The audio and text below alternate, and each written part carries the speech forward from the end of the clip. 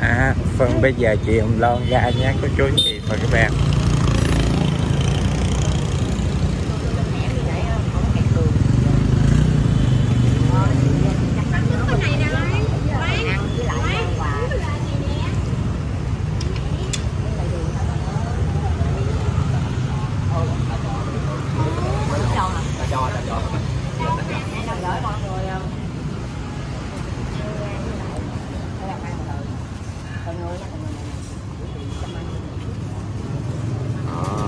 Bì nữa cô chú anh chị và các bạn. À, chị Trâm Anh. Chị Trâm Anh đây nè. Em cảm ơn chị. Chị Hồng Loan cho quà này chị, chú chị wow hai cái được không chị. Hả? hai cái được không? Cái anh này là kem chị à, đây là chị Trâm Anh ở bên Mỹ nha cả nhà. cảm ơn chị Trâm Anh chúc chị Trâm sức khỏe nha là có một sụp cơm và một phong bì hai túi cô chú anh chị và các bạn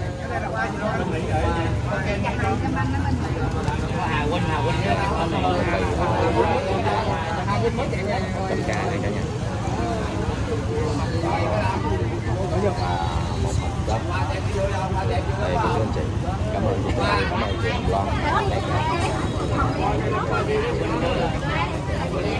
Loan qua và chị ờ, giấy ngọc dạ chị Ngọc còn ai nữa không? Dạ rồi.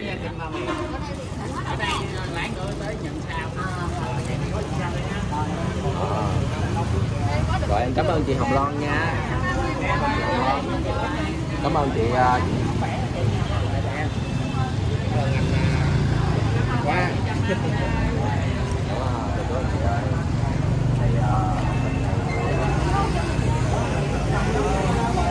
bị nhốt ngoài luôn rồi trời ơi vui quá cả nhà ơi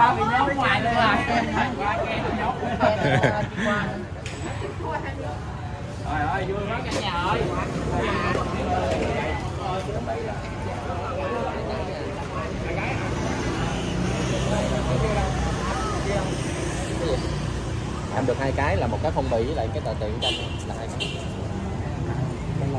Của chị Trâm Anh ở ở bên Mỹ không chị ờ, À. À, cảm ơn chị Trâm Anh ở bên Mỹ nhé. À, dì đã gửi tặng à, à, cái phong bì và một phần cơm nhé cô chú anh chị và các bạn. À, cảm ơn chị Trâm Anh ở bên Mỹ và chị Hồng Loan rất nhiều nha. Chị đã cho anh em ở đây một à, bữa cơm ngon nha cô chú anh chị và các bạn. Chưa. ăn đi review cho ăn đi lúc đi Ờ, chờ cho đủ clip đi. Bây giờ qua đây thì à,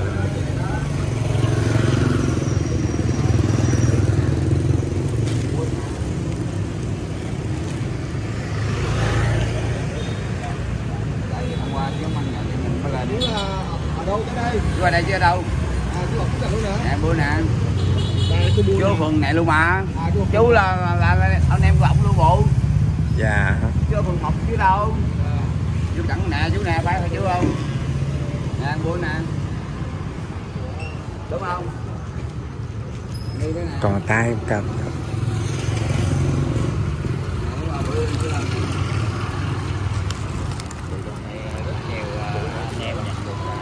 Rồi, vậy là bữa nay bữa nay là vui vẻ rồi đó hôm nay là mình được nhập cơ hội rồi đó mấy đứa không có có có, có thử thử con mèo đi ăn là được mèo á ở Mỹ Con cảm ơn chị Loan gái chị nha. Chị đã cho một phần quà. Chị đã cho một phần quà nhé.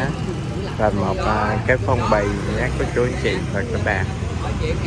Một cái phong bì